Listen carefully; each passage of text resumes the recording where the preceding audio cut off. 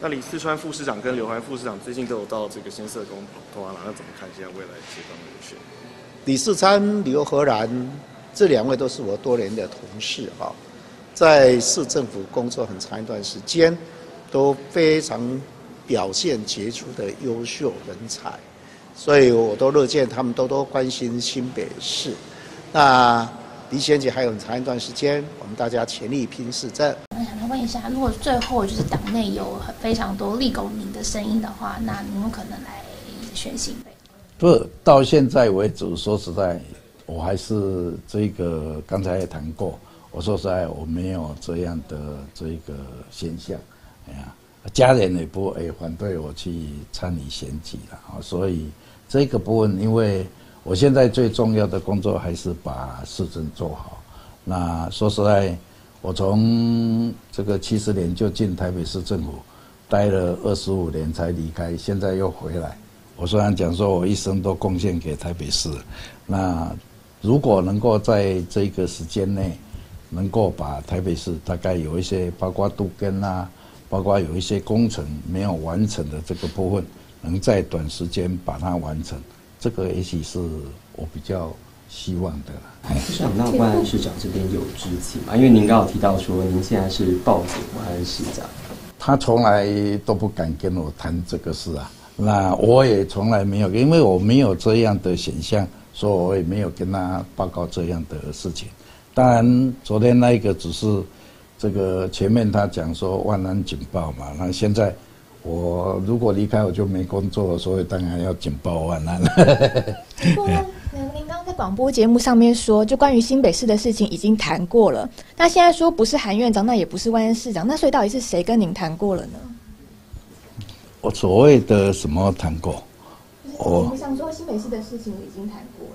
不，我因为这个选举的这个事情，我为什么呢？因为上一期的这个在市政总执行里面，这个民进党议员已经提过，这个问我有没有意愿要去这一个选举，所以有时候还会讲说，上一次已经都这个谈过了，所以。答案没有改变。那除了您以外，目前还有包括林业华副市长，还有这个新北的刘和然副市长，还有这个绿委洪孟凯，其实都被点名有机会来选。那您认为这三个选项里面哪一个？我认为这三位都相当好的这个人才啊，因为这三位都跟我共事过。那说实在，不管能力啦、口才啦，都比我好，都比我好，所以都是一时之选。哎。那他们是比你更适合的人选吗？不，他如果如果有意愿，那当然党有党的机制的那种状况，我都鼓励他们。哎，嗯。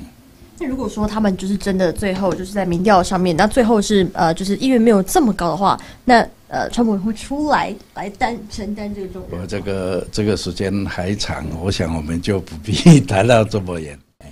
市长就想请教一下，就是刚刚有呃广播的时候有提到，说自己虽然没有想参选，但如果要选的话，这个韩院长一定会挺啊，怎么会有这样子的那个想法？不是，因为那一天当然这个我们媒体问我说韩院长有没有欠我这一个选新北，我说韩院长从来没有跟我谈新北的事，那我也没有去跟他谈新北的事。那当然，他就讲说，这个如果你要选，当然这个院长应该会挺你。那这个我想大概不必问了，因为问了答案应该都很清楚，所以他就把这个当做这个主题，呃，就就这么样来。那当然了，这一个选举说实在，我刚才讲过了，从头到尾都不是我的选项，因为做工程的人真的对选举很没有这一个。本身没有这样的兴趣，那也不懂选举。那说实在，最重要，不管你去选举当了市长或是当副市长，我说刚才讲，就是为市民去解决问题。所以当副市长也不错啊，哎呀，天塌下来。还有一个人顶着，所以局长这边还想请教，刚刚在广播的时候有提到说，觉得哎，让年轻人来选也不错，那是不是说接下来接下来挺接下来比较支持的人，可能会比较偏向于这个中生代的人选呢？不，这个我想国民党应该有很多很好的这个人才，呃，年轻的这一个部分也有很多的人才，当然有比我更好的那种状况，说出来我都鼓励他们了。哎呀，哎，这里有要谈那个新北市市长？谢谢啦，谢谢啦，我我已经都谈过了这个考古题了，谢谢谢谢。韩是韩院长会支持你吗？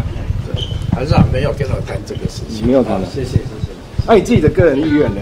谢谢谢谢，有跟谈过，有跟市长讨论过了吗？谢谢谢谢谢谢。还有跟小市长讨论过了吗？没有没有没有，已经没有我现在警报完了。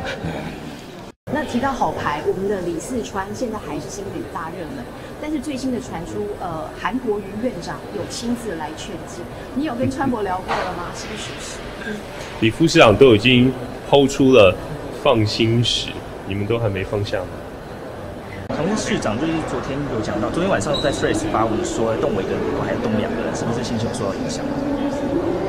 哦，不会，那只是我一个大家轻松一点哦，在 Thread 上面就是 murmur 嘛，然后这个大家懂的人就会懂。我吃冰淇淋两颗，然后二宝三宝，动我一个还要动第二个。昨天这个李富被大家点名说要选这二零二六新北市长之后，他也在脸书上面发文说要放心顺其自然。你怎么解读他的这个发文？这颗石头哦，呃，李富有告诉我是超过百年，他有一个故事，有一个人去跟佛祖参拜，带了两束花，然后佛祖在还没等他开口前就跟他说，左边的花请放下，他放下，那右边的花放下，他也放下，但佛祖说你还没有放下，是因为你的心中间要放下，好，所以这是一个非常具有禅意跟哲理的故事。好，所以我想李富这样告诉我。那所以传出如果李富不选的话，有可能是林奕华不是这样挂上阵，是这样子吗？你们动我一个副市长还不够，还要动我另外一个副市长，是不是下礼拜要动到市府里面哪一个同仁？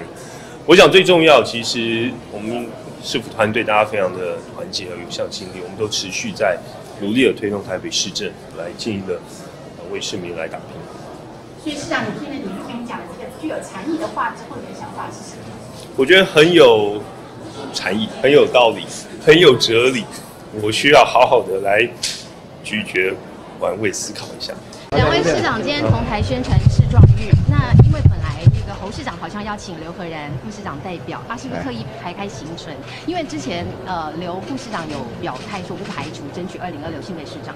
那因为台北市的李四川也是大热门，我不晓得两位市长对于蓝营二零二六谁代表新北市是最佳人选，您的你们的看法？新北市侯市长。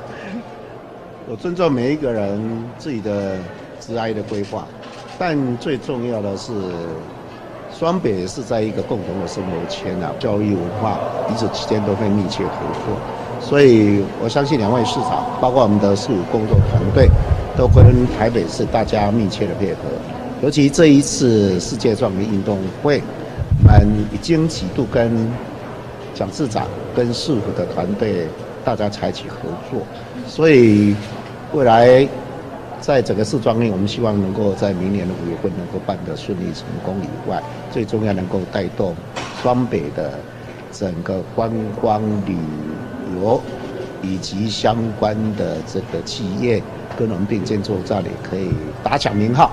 让全世界看得到双北的市庄领办得非常的顺利和成功，所以我们团队的所有伙伴现在全力在拼我们的市政。所以蒋市长呢？刚侯市长都答了，他以新北市长的身份表达的看法。那蒋市长觉得蓝营谁会代表新北市？我觉得都是人才。好，那我觉得最重要是双北是共同生活圈，所以未来很多市政推动，双北一定是紧密合作，交通、教育、文化、公共建设等等。我想我们这个是有共识，这是非常重要。